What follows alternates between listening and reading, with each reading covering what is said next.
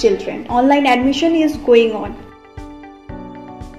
अपने बच्चों के नामांकन हेतु लॉग इन करें W W dot R P S Bihar Sharif dot com Begusarai ज़िले में सामाजिक क्षेत्र में काफ़ी कम समय में लोगों के दिलों में जगह बनाने वाली संस्था सूर्य कला रामजी फाउंडेशन अब ग्रामीण इलाकों के छात्रों के लिए एक पुस्तकालय खोलने की दिशा में काम कर रही है। इसी कड़ी में भगवानपुर प्रखंड क्षेत्र अंतर्गत बनवारीपुर स्थित धृति जीवन हॉस्पिटल के द्वारा सूर्य कला रामजी फाउंडेशन को पुस्तकालय खोलने हेतु 20 कुर्सी, एक अलमारी और एक कंप्यूटर टेबल दान स्वरूप दिया गया। सूर्य कला रामजी फाउंडेशन के संस्थापक शैलेंद्र कुमार सिंह ने बताया कि इस पुस्तकालय को बिल्कुल निशुल्क चलाया जाएगा।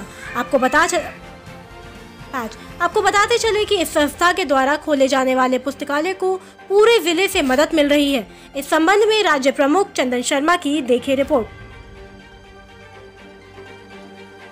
हम हैं आइडिया सिटी से आप देख रहे हैं। आइडिया सिटी आइडिया सिटी के हम हैं स्टेट हेड चंदन प्रसाद शर्मा। आप लगातार आइडिया सिटी के माध्यम से खबरों को देखते रहे हैं। आज हम आए हैं बेगूसराय ज़िले के भगवानपुर प्रखंड अंतर्गत बीटी जीवन अस्पताल, जहाँ हम आपको एक सूर्यकला आराम जी फाउंडेशन के बारे में बताएँगे।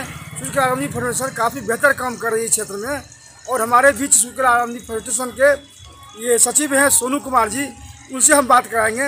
ये लगातार सामाजिक क्षेत्रों में काम करते आ रहे हैं, लगातार किसी की शादी हो और रक्तदान करना हो, वे आगे रहते हैं चरबर के काम करते हैं। और गीति जीवन भी लगातार शिविर का आयोजन किया है, लोगों तक सेवा पहुँचाया है।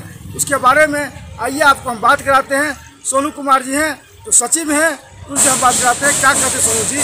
सोनू जी, अभी क्या किया जा रहा खेती जीवन को?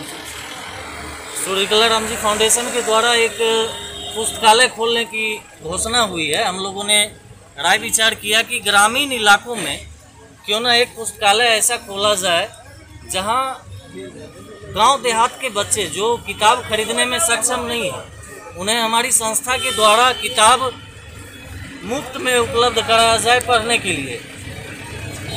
ग्रामीण इलाकों के बच्चे आए लाइब्रेरी में बैठें पढ़ें बुक ले जाएँ वापस करें।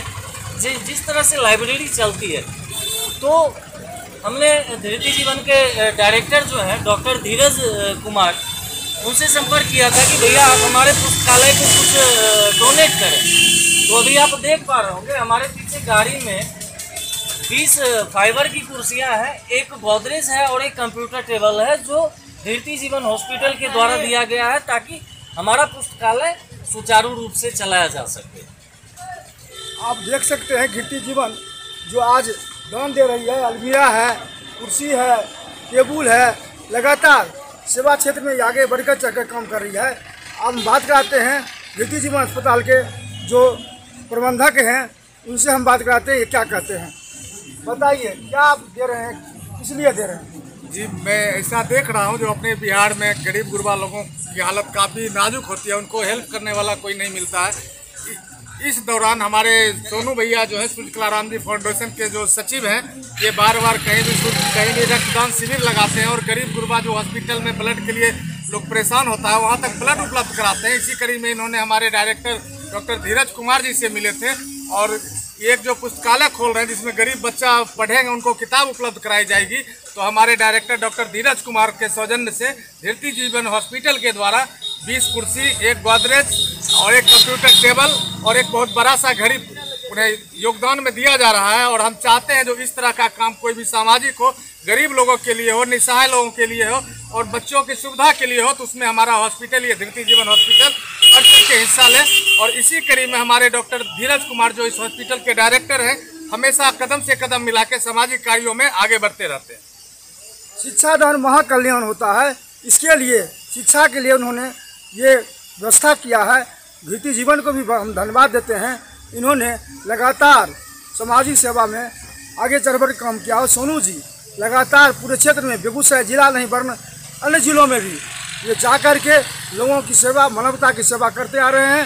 हम आपको लगातार आइडिया सिटी के माध्यम से इस न्यूज़ को दिखाते रहेंगे। सोनू जी क्या क्रियाकलाप है और सूर्य कला फाउंडेशन क्या कर रही है? पूरे क्षेत्र में, पूरे बिहार में ये अलग जगा रहे हैं। इसके बारे में आपको दिखाते रहेंगे।